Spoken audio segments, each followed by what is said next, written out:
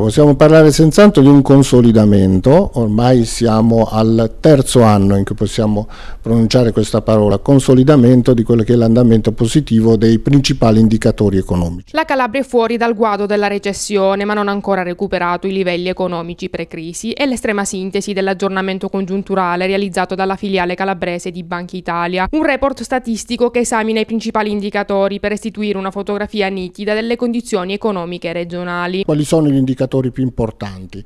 Sicuramente la, il miglioramento per il secondo anno consecutivo miglioramento della redditività delle imprese, che è vero e trainato da alcuni settori eh, guida eh, con i settori, però è comunque abbastanza diffuso. Il commercio e il turismo sono i settori che trainano la pur lenta ripresa economica calabrese, in particolare il settore ricettivo che ha registrato un aumento delle presenze del 2,9%. Resta ancora al palo il settore delle costruzioni, mentre volano gli indici di internazionalizzazione. Le aziende che esportano all'estero hanno fatto registrare un aumento del 38%. Il dato sull'occupazione è positivo e addirittura lievemente superiore a quello nazionale. Cresce il numero degli occupati passando dal 40,1% del 2017 al 40,8% attuale, ma si tratta per lo più di occupazione radicata nel settore autonomo e quando è dipendente per lo più precario. Resta invece stabile il tasso di disoccupazione determinato dall'aumento delle persone in cerca di un impiego. Non dobbiamo dimenticarci che la Calabria soffre ancora e questo è dovuto alla presenza di divari non ancora colmati, divari pesanti pesanti, divari che caratterizzano